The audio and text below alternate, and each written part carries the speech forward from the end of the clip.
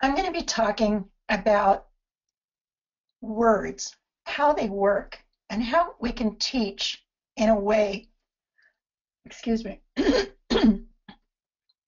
that supports the reading of complex text. Now, when we look at complex texts, and these are some of the texts that the folks on the Common Core uh, panel identified as exemplifying complex narrative on the left-hand side and informational on the right-hand side um, at grades four and five. I don't know what's happened there. Okay. So when we look at these texts, um, we see the words in purple as words that aren't the commonest words that you'd see. We see that there's some differences in the way in which the words in the informational text on the right act relative to the words on the left-hand side. So you see erupt, erupted, um, eruption um, in the on the right-hand side, and you see a lot of different words on the right hand side. And I'm really looking at the words in purple. We'll talk a little bit about purple and yellow words. The words in yellow are ones that are more common. So to be able to read complex text, yes, sentences do get longer as texts get harder, but the really critical thing is if you're still trying to figure out the words, it's going to be really difficult no matter how long the sentences are.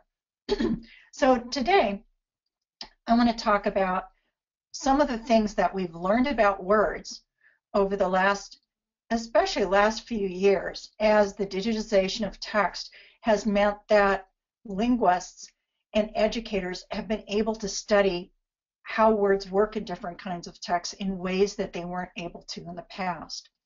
Now, we'll remember that English has many, many words. In fact, relative to most languages, other than a language like Mandarin, English has more words. So, for example, if you're thinking of um, Spanish or French, English has an enormous number of words, mostly because of its historical roots in two different languages, German and French. But what this means is, if English has a lot of words, there's no way we can teach all of them. So one of the things that becomes really important is getting kids involved with texts. Now, this might seem kind of like a um, cyclical or tautological kind of argument, right? Hard words characterize complex text, and yet we need to get kids involved in reading text. Well, one of the things that I'm going to talk about in just a little bit is that a very small words in English account for most of the words in text. And unless you read a lot, you don't get very good at those words. Most American kids can read. They can recognize if, if reading is recognizing words, but they're very slow at it. So I want to tell you a story about these three people who are in different classes in the same school. They're fourth graders. So here's a story about Abby and Alice and Alex. So if we give students a penny for every 500 words they read. This is what it looks like after the first day of school. It doesn't look that much different. Abby's got a couple, two more pennies than the rest of them. But as you see after one week, the pennies are beginning to add up. But it's after a year that we can really see some differences. But where the differences are really critical are in the quarters. Okay, the quarters, each of those quarters represent rare words that students have encountered. And as you see here, the student on the right-hand side actually has a substantial number, 2,500 rare words versus 1,000. So keep thinking about how this goes along year after year. Now, it turns out that these students are in the same classroom, excuse me, in different classrooms in the same school. And it turns out that, well, these three students just come from a picture that I was able to get with permission on the internet. The story behind these three students is actually a real one. So when we look at the National Assessment of Educational Progress, the assessment that provides the model for our state tests at this point, we see that students who read just a little bit more, it actually turns out that the student on the right-hand side is reading about seven minutes, uh, excuse me, four minutes more than the student in the middle, and the student in the middle is reading about three and a half, four minutes more than the student on the left-hand side. This reading actually correlates to how students do on a reading comprehension ass assessment with open-ended response. A lot of them are open-ended responses. On the NAEP, about 60% of them are. Okay, so when we read, this makes a lot of sense, doesn't it? To get good at something, we need to do it. And it's difficult to read complex text if we haven't read a whole lot of a variety of texts over time. So I'm going to give you three ideas today about increasing the amount of exposure to words that students have in your classrooms. And what I'm going to do is for each of these ideas, I'm going to give you an open access resource to help make that happen. Okay, so at Text Project, what we do is we provide open access resources. That means everything is for free. And I want to show you how some of these ideas really involve small steps in terms of a curriculum, but they can make a huge difference. So the first idea is that a very small group of words in English does the heavy lifting. And students need to be able to recognize these automatically. Now, we often think of these words as being the Dolch words, but this goes much, much beyond the Dolch words. The Dolch words are about 1% of this group of core vocabulary. And here, remember I told you I'd tell you more about the yellow words. 90% of the words on the Common Core exemplars, K through college and career ready, I actually had those books scanned. We took samples of them and established how well the core vocabulary accounted for that vocabulary in the in the uh, exemplars. And it turns out that the percentage is a little higher in K through 3, but even up to college and career ready, we see that a large percentage, sometimes in informational text at the high school and college level, it might be 87, 88%.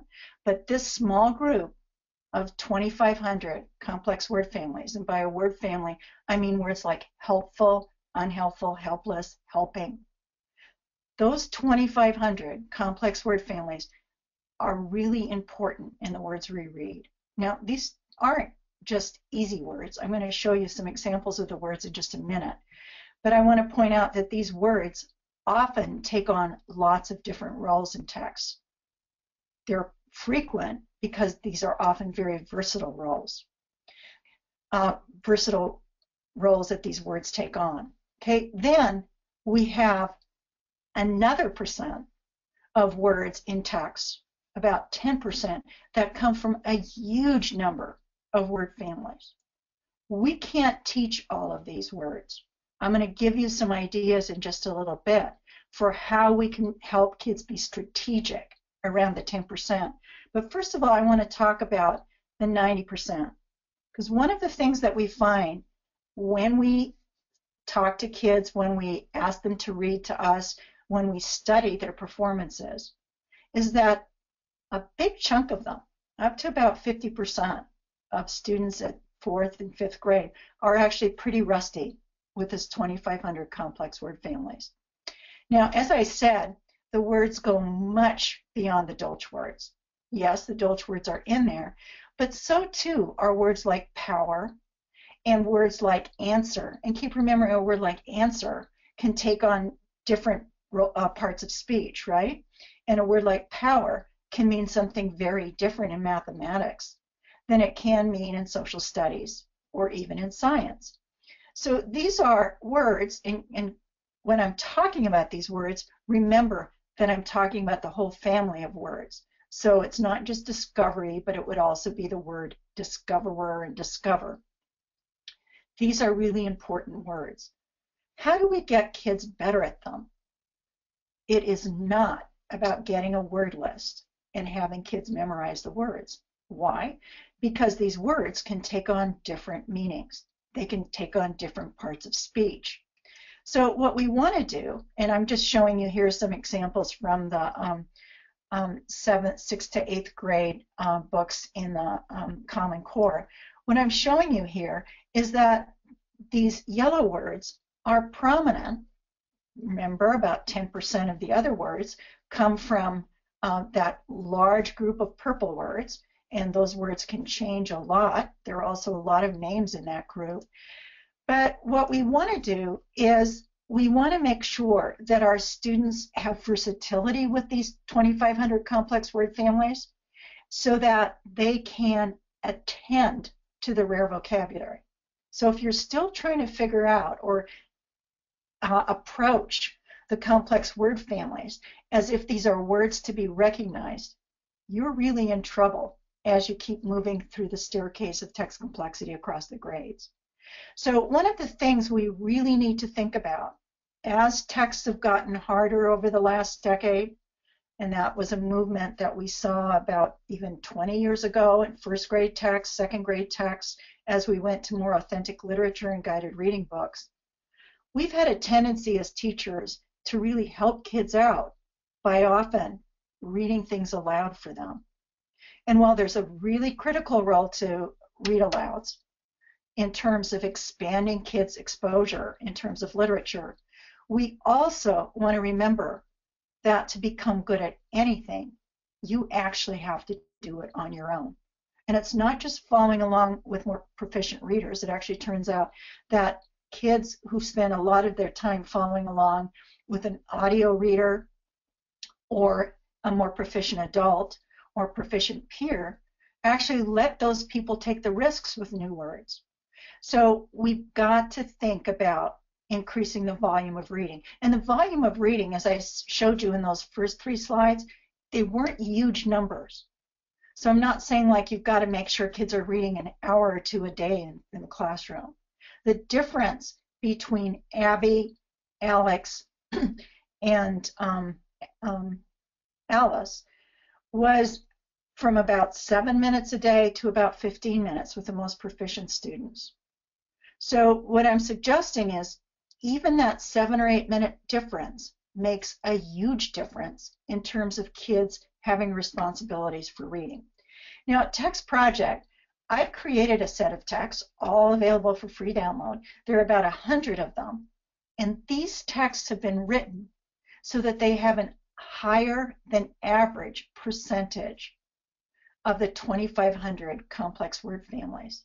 And the little number up there actually tells you the percentage of words that fall outside the 2500. So most of these words like eggs and folds and skin and belly and rest and feet and warm and cold, these are words from the 2500 families. There are some other words like penguins and auk, but the majority of the words here come from the 2500 words. And feel free to use these extensively in your classroom. These texts help you get background knowledge, while at the same time, you're developing facility automaticity with the 2500 word families.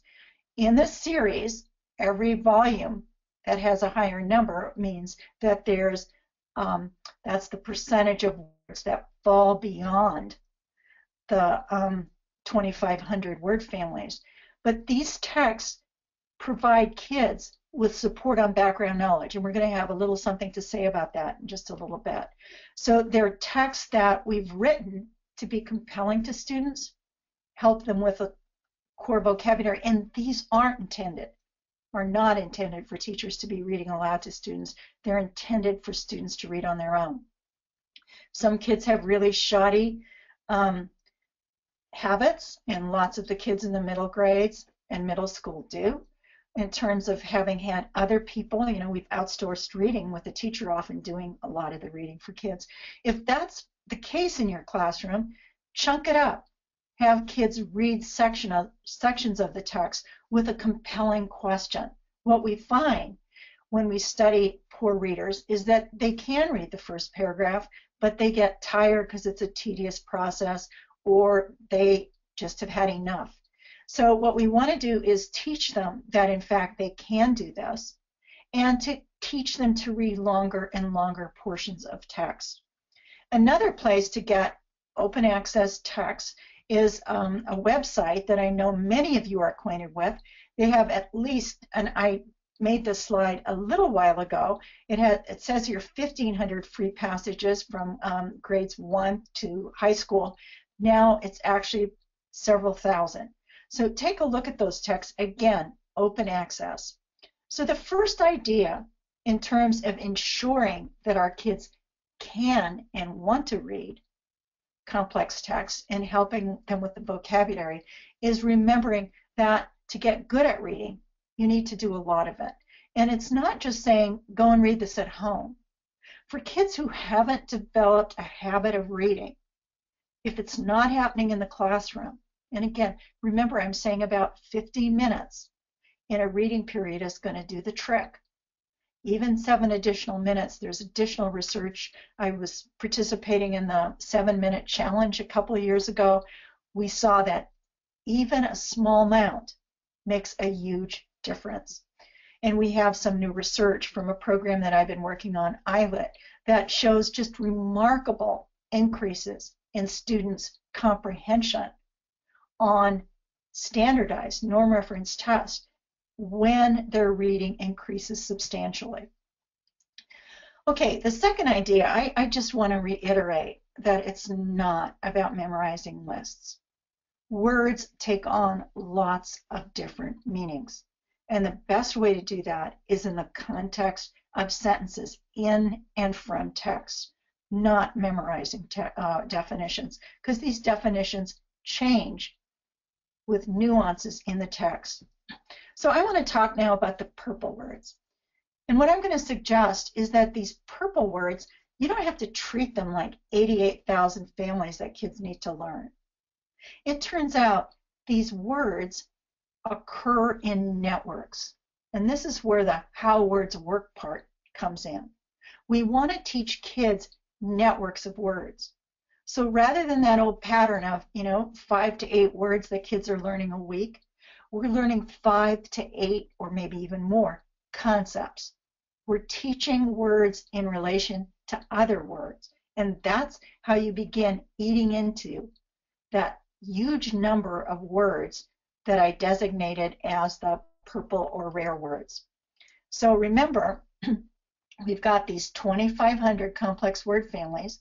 We've got words like energy and force that occur both in content area text and in narrative or literary text. These words can take on different meanings in those two kinds of text. Not all words do. You know, like a word like but, many do. Word like form or um, a word like, even a word like text takes on lots of different meanings today, doesn't it?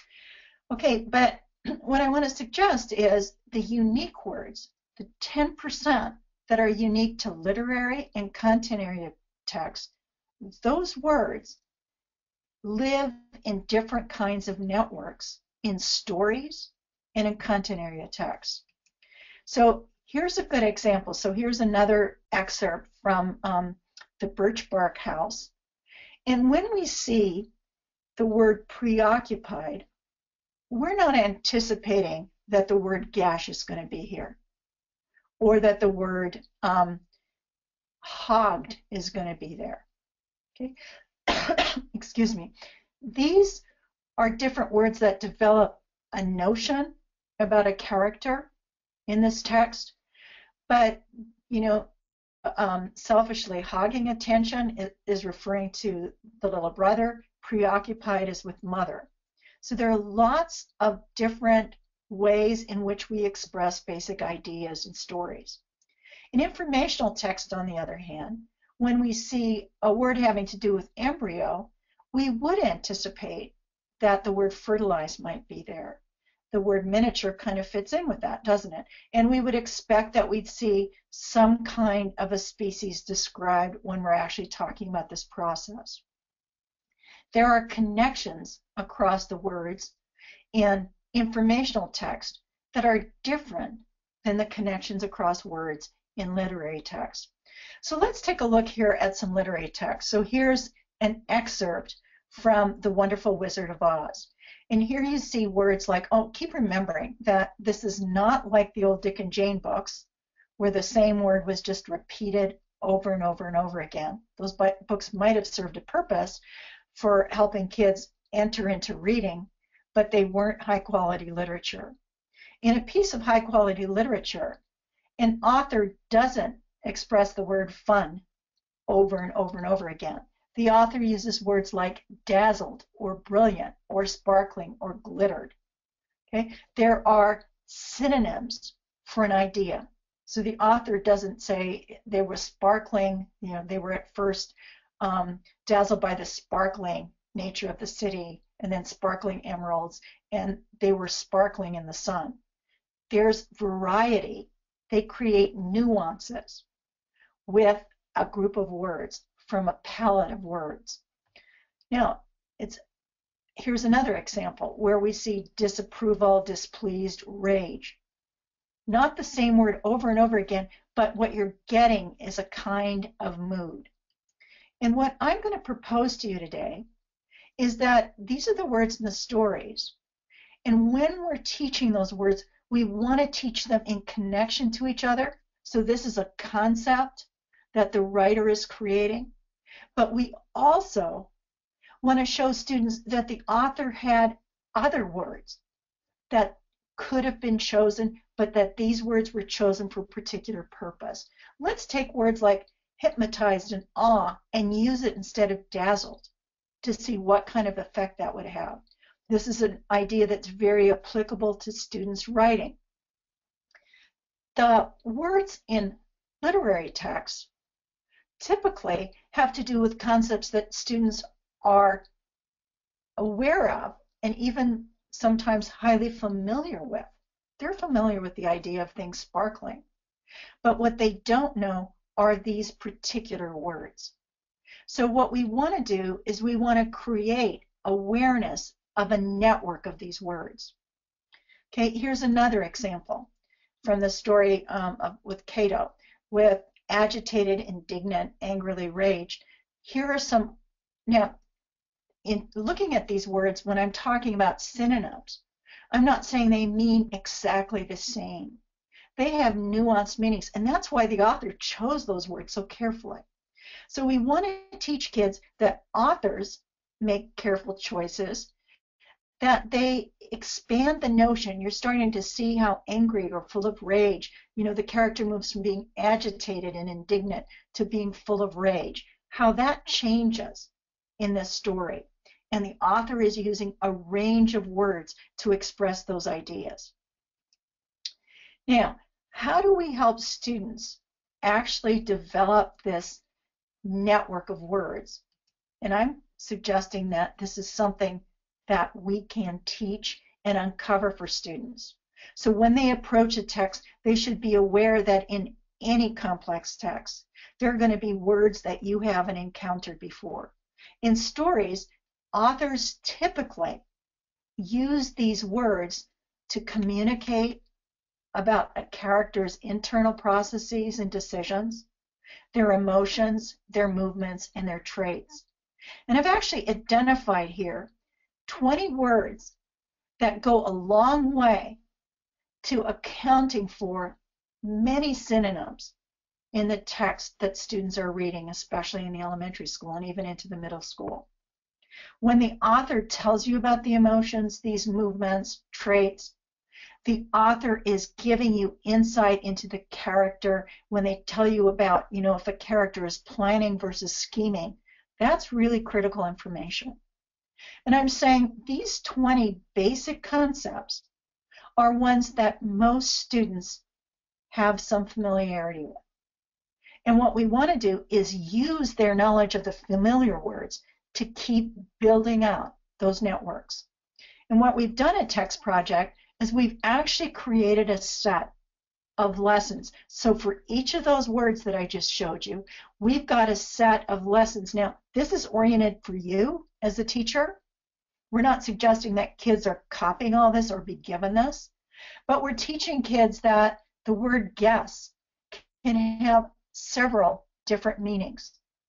It's also used in common phrases and it's also used in various ways idiomatically, or there are words used around it idiomatically. And always we want to build on the knowledge of our Spanish speaking kids. And for those who don't speak Spanish, we want to give the connection to academic language. Okay, so we've provided a set of these lessons, as I said, for every one of the words on this list. And what I'm saying is, even kids who are in linguistically fairly sparse environments or communities, they know about being glad and sad and mad and selfish and fear. Okay, what they don't know are some of the words that kind of move into academic and literary language. And we can use their knowledge of these fundamental words to keep expanding their understandings. Now, for every one of those lessons, we also have a form that students can fill out. And again, you can make choices at different grade levels how expanded those forms are going to be. Now, when it comes to informational text, as we saw with embryo and fertilized and miniature, those words aren't synonyms for each other. They are related concepts. So what I've got here is the pink words are the nodes of the ideas. Okay, and these words actually build on one another in definitions. So to understand properties, it helps you, you will at times use the word dissolve to explain some of the properties of words. And as you learn more about dissolving, you learn more about properties, you also learn more about substances. substances. And as I learn more about abrasive, I learn more about property and so on and so forth. These words are connected to each other, they're not synonyms. And yes, I'm actually suggesting that students develop a habit and that you as teachers develop a habit of developing these topical networks.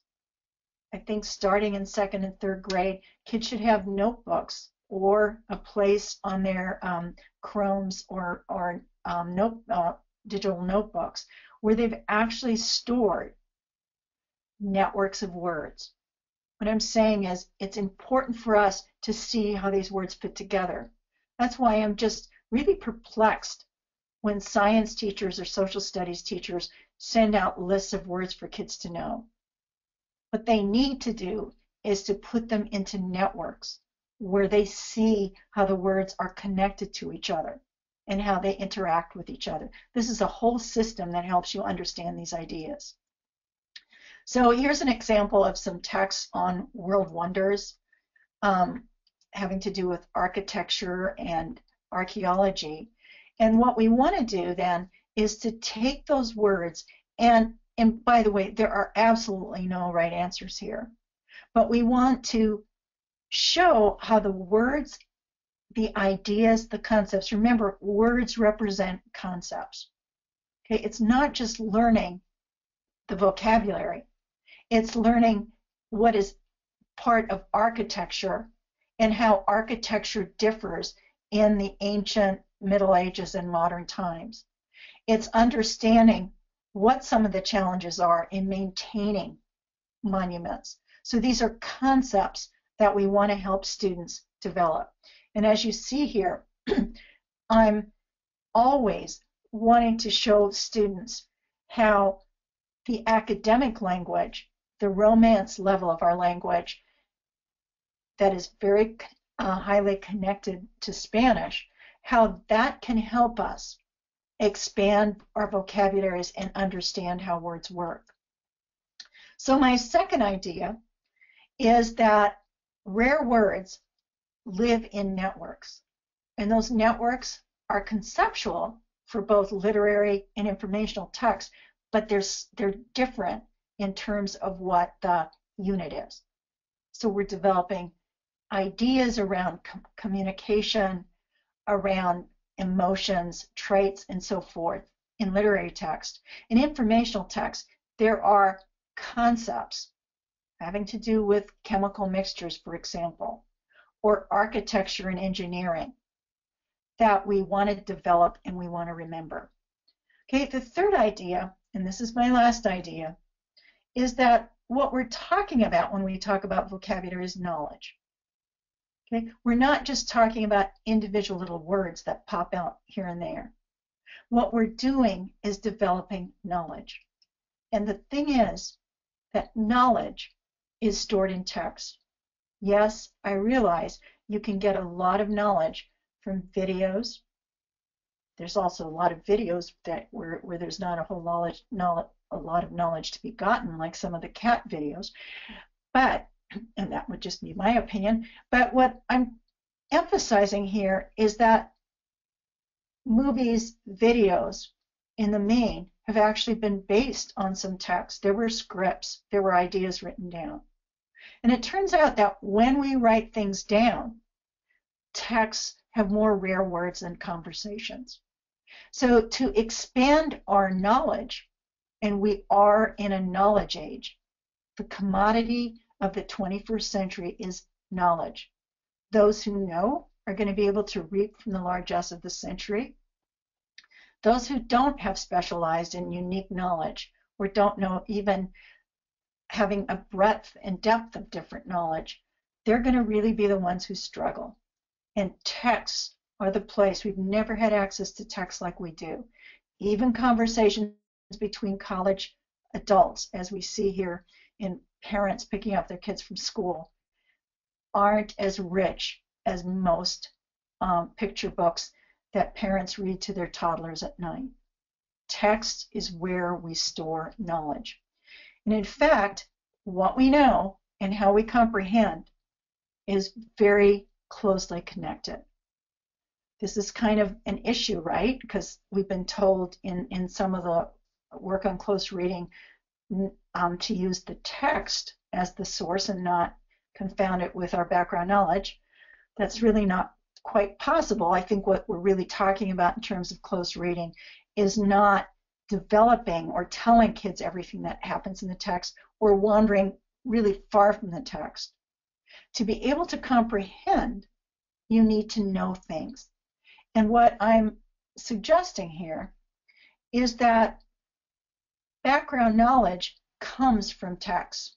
Now, if I don't know a lot about a particular topic, don't despair. People who have breadth and depth of knowledge in some topics actually do better when they get to new topics. You know how to learn things.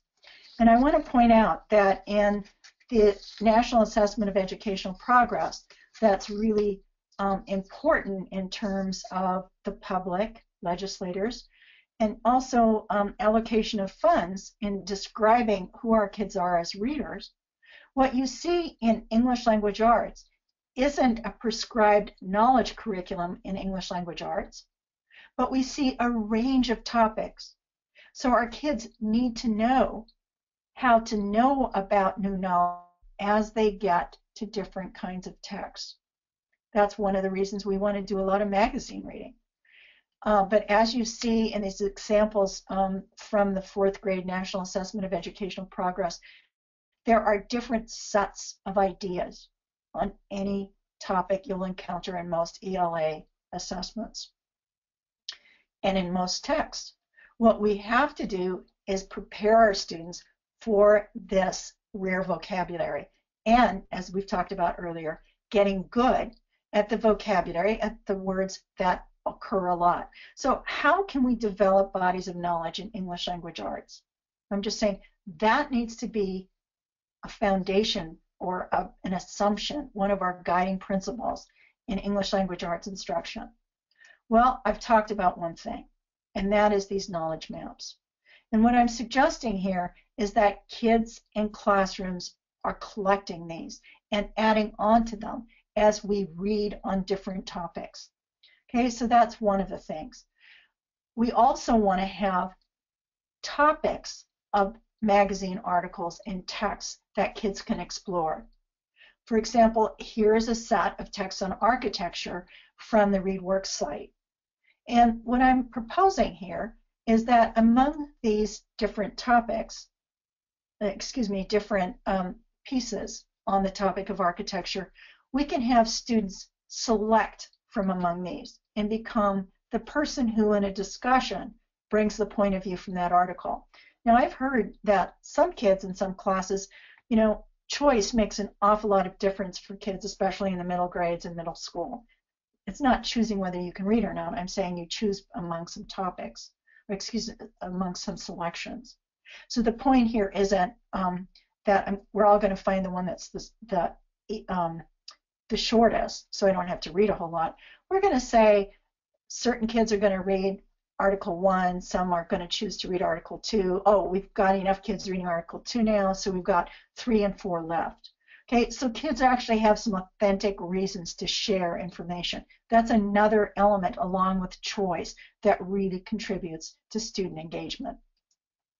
And finally, especially when we've got English language learners, but I think this is useful for all kids, I think that pictures can really help to develop concepts. One of the things that we've done at Text Project is we've put together these sets of slides on a variety of topics. I'm showing you fashion and design today.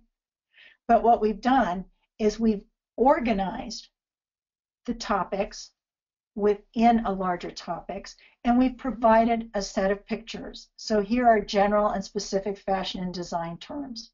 Okay, and we've provided some really interesting pictures that can help kids understand what these notions are. This can be really useful for students who don't speak English, but who have these ideas, they just don't have the English words for them. Or for kids who are needing to expand their vocabularies. Having something concrete is a very good way to learn and to remember. Okay, so here are some more ideas. And as you see here, we've actually used the words in the context of sentences. Not all the times, but some of the time. Um, we've also got, so we've got a whole group of these um, word pictures, including on topics like ancient Egypt. So I really welcome you to use these. What I've said then is that vocabulary is all about developing knowledge. And one of the most critical things that characterizes an effective reading program is the presence of an opportunity to learn something. Kids want to learn things. And what we want to do is we want to develop, be systematic in developing bodies of knowledge in ELA classrooms. And I've suggested word pictures and connected sets of texts, as well as word maps, which I'd already talked about. So these are my three ideas for how we can prepare students to be equipped with abundant vocabularies, but also with strategies so that they can learn new words and texts. Okay, we want them to be really good and facile with that those 2,500 words in English. We also want them to be strategic and to develop rudimentary networks of words that fall into the rare words. And finally, what this thing about reading is all about, it's about learning things. We want kids to understand text as a source of knowledge and to develop areas in which they become experts and, and as well as developing some breadth of their knowledge. I welcome you to join us at Text Project. Um, one of the things that I've been doing in the last year and a half is I've been writing this series of books on where words come from. Um, sometimes we call this etymology. But I um, have been writing a book about every two or three months, along with a co-author, um, some, some set of co-authors, and I think that they're really compelling stories about how different languages have influenced English, like Native American languages. You know, almost half of the American states have names that come from Native lang uh, American languages. Where words for food come from. You know, some cultures we call it pasta, some we call noodles. Why is that, and what are the sources for those words? Um, we give these books away to people who join us on our mailing list and we send out only one newsletter a month